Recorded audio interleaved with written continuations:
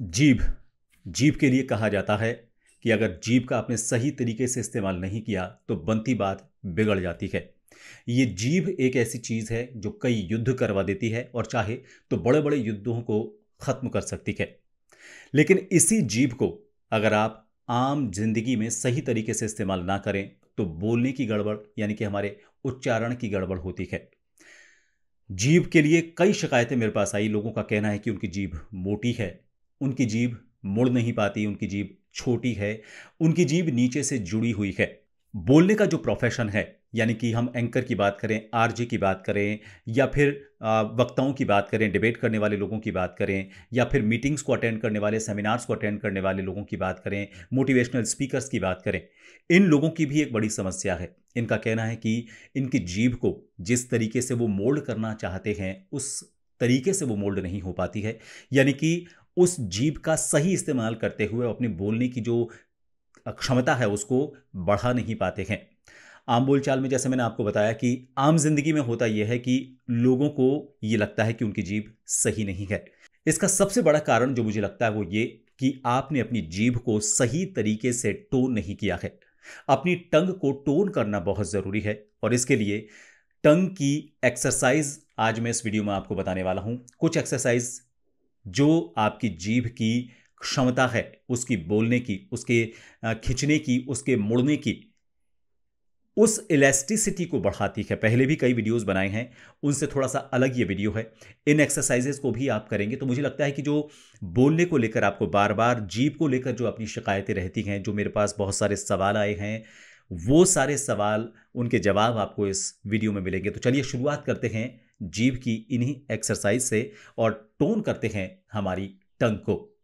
मैं आज जो आपको जीप की एक्सरसाइज बता रहा हूँ, उसमें जीप की जो पोजीशनिंग है आपको कम से कम 10 सेकंड के लिए रखनी है और फिर उसके बाद पाँच बार इसको, आपको एक्सरसाइज को करना है। हर एक्सरसाइज को 10 सेकंड के लिए होल्ड रखना है जीप को उस पोजीशन में और फिर उसके बाद उसी तरह से आपको पाँच बार उसके रिपीटेशंस करने हैं।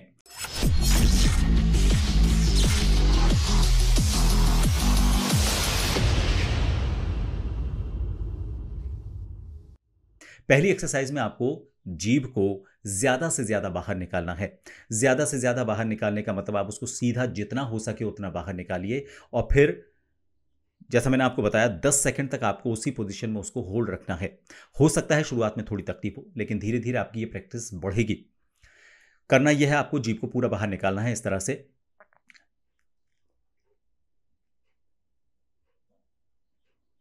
जितना ज़्यादा आप निकाल सकें उसको बाहर शुरुआत में हो सकता है थोड़ा कम निकले धीरे धीरे ये बढ़ेगी, लेकिन आपको ज़्यादा से ज़्यादा बाहर निकालनी और फिर 10 सेकंड का होल्ड रखना है।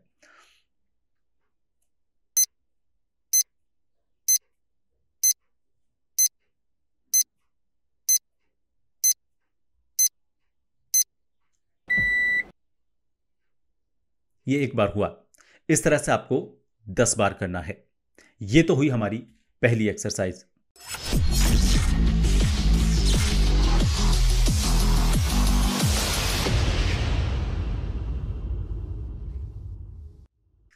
दूसरी एक्सरसाइज में आपको इसका बिल्कुल ऑपोजिट करना है यानी कि जीभ का जो पिछला हिस्सा है उसको पीछे की तरफ़ समेटना है और पूरी जीभ को जितना पीछे हो जा आ, मतलब आप ये समझे कि गले के अंदर की तरफ़ आप जितना पीछे ले जा सकें उतना आपको पीछे ले जाने की कोशिश करनी है। इसमें आपने पूरा बाहर निकाला था और इसमें पूरा अंदर समेटने की कोशिश करनी है। वहाँ भी आपको 10 सेकंड के लिए होल्ड रखना है और फिर पाँच बार इस एक्सरसाइज को करना है। देखिए मैं आपको मुँह खोल के एक बार बता देता हूँ, हालाँकि आपको जो एक्सरसाइज करनी है, मुँह बंद करके करनी है, लेकिन आप जीप की पोजीशन समझें, इसलिए मैं आपको एक बार मुँह खोल कर बताता हूँ कि जीप की पोजीशन क्या होनी चाहिए।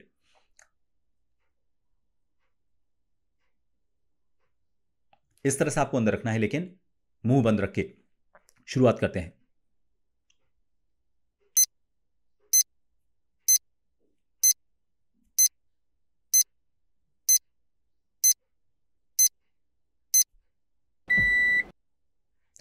फिर रिलैक्स करना है।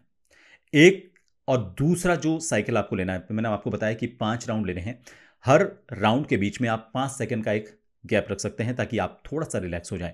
ये रही दूसरी एक्सरसाइज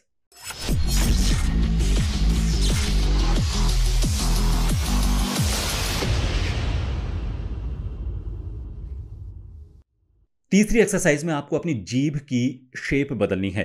कुछ लोग अपनी जीभ को इस तरह से रोल कर लेते हैं। वो अगर आप कर पाते हैं तो वो बहुत अच्छी एक्सरसाइज है, लेकिन अगर आप नहीं कर पा रहे हैं तो आपको परेशान होने की ज़रूरत नहीं है। आपको जीभ को मुँह से बाहर निकालना है, पहले तो आपको उसको बिल्कुल फ्लैट रखना है और फिर धीरे धीरे इस तरह से थोड़ा सा मोटाई में या फिर गोल बनाने की कोशिश करनी है। ये बात ज़रूर ध्यान रखें आप कि आपको इसमें एक रेजिस्टेंस पैदा करना है, यानी कि आप जीभ को मोटा करने की कोशिश कर रहे हैं, लेकिन होठों से उसे थोड़ा सा प्रेशर लगाकर रोकने की कोशिश करें। जीभ को जीप की जो मसल्स हैं, उनको तो आप फैलाने की कोशिश करें ताकि आपकी जीप को आप मोटा कर सकें, लेकिन आपको होठों से उसे रोकना है। अगर होठ से नहीं रोक पा रहे हैं तो हल्का सा दांतों का सहारा ले लें, लेकिन दांतों से ज़्यादा ज़ोर नहीं लगाना है, वरना जीप को नुकसान पहुँच सकता है। तो आपको करना क्या है? पाँच सेकेंड के लिए पहले जीप को फ्लैट करना है और फिर उसके बाद होल्ड रखते हुए पाँच सेकेंड का और फिर उसके बाद जीप को मोटाई में, गोलाई में रोल करना है और फिर उसके बाद पाँच सेकेंड होल्ड रख उसको एक होल्ड रखें। ये आपका एक साइकिल हुआ। कैसे? एक बार मैं आपको बताता हूँ।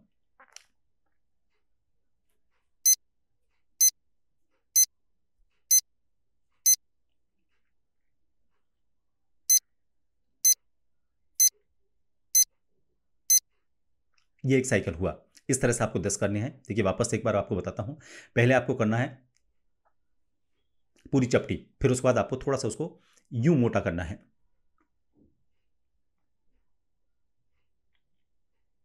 तो आपने देखी ये दो पोजीशन हैं। इस तरह से आपको ये अगली एक्सरसाइज करनी है। हर पोजीशन में पाँच सेकंड रखना है।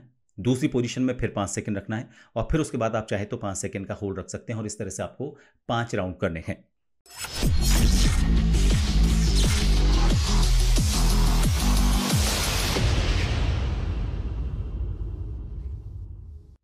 चौथी एक्सरसाइज थोड़ा सा इंटरेस्टिंग हो सकती है। वजह यह है कि आपको मुँह में पेन दबाकर जीभ के ऊपर आपको पेन को रखना है। मैंने पहले एक बार इस एक्सरसाइज को बताया था, लोगों के कई सवाल आए थे कि पेन की पोजीशन क्या रखनी है? लेकिन आपको पेन की जो पोजीशन है, ऊपर रखनी है, जीभ के नीचे नहीं रखना।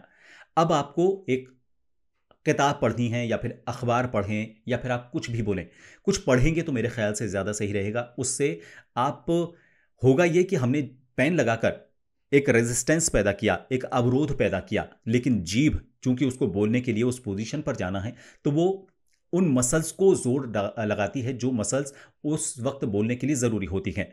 तो उन मसल्स की जो टोन है, वो अच्छी तरह से होगी। मसल्स की जो एक्सरसाइज है, वो अच्छी तरह से होंगी। वो जीप की जो मसल्स हैं, वो उस एक्सट्रीम रीच तक पहुँचने के लिए पूरी ताकत लगाएँगी। अब जैसा मैंने आपको बताया कि आपको इस तरह से एक पेन लेना है और उस पेन को आप इस तरह से जीप के ऊपर होल्ड रखें।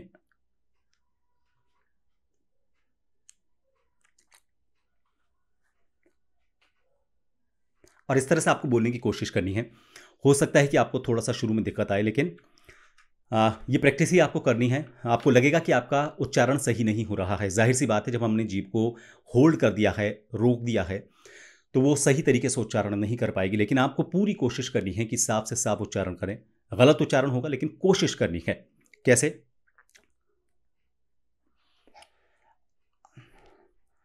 अब मैं इस वक्त आपसे साफ़ बोलने की कोशिश कर रहा हूँ लेकिन अगर आपको लग रहा है कि पेन आपका निकल रहा है तो आप एक हाथ से होल्ड भी कर सकते हैं।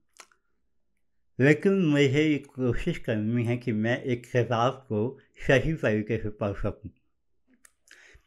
ये आ, मुझे लगता है कि आप इस एक्सरसाइज को जितना अच्छे तरीके से करेंगे, उतना ज़्यादा अच्छे तरीके से आपकी मसल टोन होगी। जिस तरह से हम एक्सरसाइज करते हैं मसल्स को बॉडी बिल्डिंग जब करने वाले लोग होते हैं जिम जाते हैं तो वेट उठाकर वो रेजिस्टेंस पैदा करते हैं।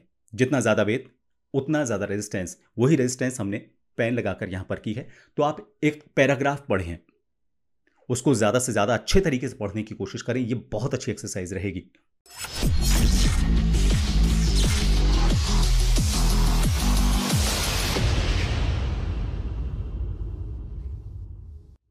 और अब करते हैं पांचवी और आखिरी एक्सरसाइज इस एक्सरसाइज में आपको करना यह है कि अपनी जीप का जो अगला हिस्सा है, यानी कि जीप का ये वाला हिस्सा, इसको आपको टच करना है। तीन जगह पर टच करना है और एक रिदम में, एक टेंपो होता है, ताल होती है, उस तरह से टच करना है। ये तीन हिस्से कौन से हैं वो मैं आपको बताता हूँ। एक तो है मूर्धन्य वाला हिस्सा। ये ऊपर के दांतों के जस्ट पीछे वाला जो हिस्सा है, जहाँ से हमारे तालू का अगला हिस्सा शुरू होता है, ये। इसे हम मूर्धन्य बोलते हैं। इससे थोड़ा सा पीछे आप जाएँगे, जो बीच वाला हिस्सा है, जो थोड़ा सा हार्ड होता है, उसको हम बोलते हैं हार्ड पैलेट। और फिर बिल्कुल पीछे वाला हिस्सा, वो हुआ सॉफ्ट पैलेट। ठीक है? मूर्धन्य, हार्ड पैलेट, सॉफ्ट पैलेट। मान लीजिए ये हमारा ऊपर का तालू है, यहाँ हमारे दांत हैं ऊपर वाले। तो ये मूर्धन्य हो गया, ये हार्ड पैलेट और ये सॉफ्ट पैलेट। जीप से आपको सॉफ्ट पैलेट में आप कोशिश करें कि जितना पीछे आप टच करने की कोशिश कर सकें, कोशिश करें। आपको करना यह है, एक रिदम में टच करना है। One, two, three. One, two, three. One, two, three. इस तरह से आपको टच करना है। मुँह बंद करके आपको एक्सरसाइज करनी है, इसलिए मैं इस तरह से आपको समझाने की कोशिश कर रहा हूँ ताकि आप अच्छे तरीके से इसको समझ सकें और एक रिदम में कर सकें। और धीरे धीरे आपको इस रिदम को बढ़ाना है। दस बार करना है। ये एक राउंड हुआ। One, two, three. One, two, three. और धीरे धीरे इसको बढ़ाना है। One two three one two three one two three one two three one two three one two three ठीक है? इस तरह से। आप दिखेगा नहीं आपको, लेकिन मैं आपको बताता हूँ मुँह खोल के। आपको मुँह खोल बंद करके करनी है।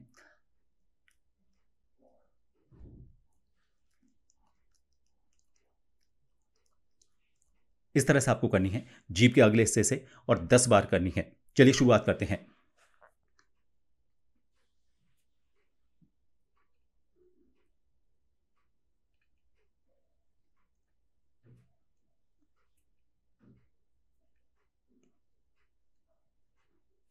दस बार हुआ। ऐसे आपको पाँच राउंड करने हैं। ठीक है? तो ये वो एक्सरसाइज हैं जिनसे आप अपनी मसल की जो इलास्टिसिटी है, जिनको शिकायतें, जैसे मैंने आपको बताया कि बार बार मुझसे सवाल करते हैं कि मेरी जीभ मोटी है, जुड़ी हुई है, ज़्यादा खिंचती नहीं है, भारी है, सख्त है उन सब के लिए ये सबसे बेस्ट एक्सरसाइज है। तो ये वीडियो आपको कैसा लगा? मुझे ज़रूर बताएँ। पसंद आया है तो लाइक करें शेयर करें सब्सक्राइब करें। सब्सक्राइब करने के बाद उसके आगे जो बेल आइकन है, उसे ज़रूर हिट कर दें ताकि जब भी मैं नेक्स्ट वीडियो बनाऊँ तो आप तक अपने आप नोटिफिकेशन से उसकी जानकारी पहुँच जाए। आप अगर थैंक्स बटन पर क्लिक करेंगे तो मुझे काफ़ी सपोर्ट मिलेगा। आप अगर ज्वाइन बटन पर क्लिक करेंगे तो एक खास मेंबर बनेंगे और उन खास मेंबर्स के लिए ये वीडियोज़ भी पहले रिलीज़ होते हैं और कुछ टिप्स के वीडियोज़ मैं अलग से उनके लिए बनाता हूँ। आप अगर इस वीडियो के बारे में या फिर मैं नेक्स्ट किस टॉपिक पर वीडियो बनाऊँ, उसके बारे में मुझसे कुछ सवाल करना चाहते हैं, कुछ मुझसे कहना चाहते हैं तो नीचे कमेंट बॉक्स में लिख सकते हैं। आप मेरे सारे सोशल प्लेटफॉर्म से भी जुड़ सकते हैं। इन सभी के हैंडल इस वक्त आपको स्क्रीन पर भी नज़र आ रहे हैं और ये सारे हैंडल मैंने नीचे डिस्क्रिप्शन बॉक्स में भी कॉपी किए हुए हैं। आप सीधे उन लिंक पर क्लिक करके उन ग्रुप्स का हिस्सा बन सकते हैं। उन ग्रुप्स में आपको ये सारे वीडियोज़ अवेलेबल होंगे। फ़िलहाल, इस वीडियो को देखने के लिए बहुत बहुत शुक्रिया। नमस्कार